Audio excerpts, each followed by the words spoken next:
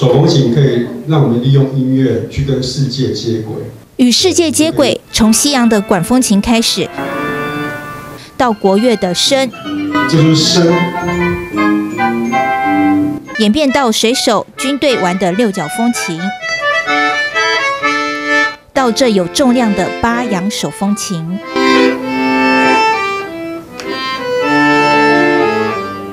佛光山极乐寺中门馆邀请专业手风琴演奏家林成琴主讲苏普世界吹来的风即音乐赏析，从手风琴的缘起到演变成不同类型的乐器，仿佛走趟历史。今天跟大家介绍是手风琴。那手风琴在对台湾人来说，只有一个刻板印象，就是呃以前南卡南卡西年代的键盘手风琴。手风琴呢，其实在全世界有高达呃一百多种。不同的手风琴，那我今天有带来各式各样的手风琴，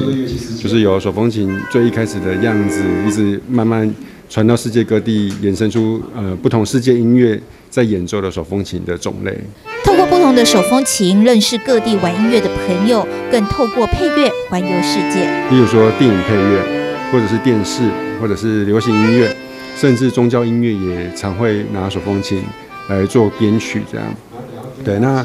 呃，大家最常听到的，例如说宫崎骏的配乐，就是久石让，呃，他写的一些非常多的呃动画里面都有手风琴，例如说霍尔的移动城堡或者风起，就是很多很多的呃电影里面都有手风琴的声音。音乐历史也与基隆连结，林晨琴演奏台湾民谣《望春风》，早期的纳卡西音乐就是与世界接轨的一文成果。今天很开心可以。听到老师就是分享这个手风琴的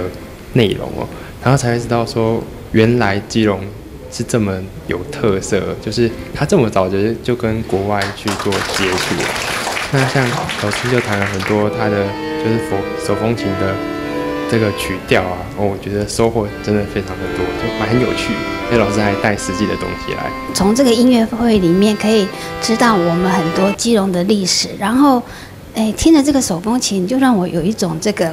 哎思古的情绪啊，就是觉得说，哎，原来我觉得这个手风琴跟我们这个基隆港都很那个相互应和。林晨琴演奏不同民族特色的旋律，传达世界各地的情感及人文气息。他也分享自己用音乐运用在佛法思维及对应生活的态度，同时演奏自创的佛系乐曲《It's Love》。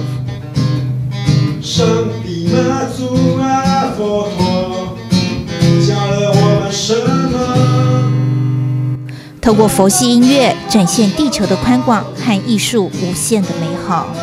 记者蔡晓军，基隆报道。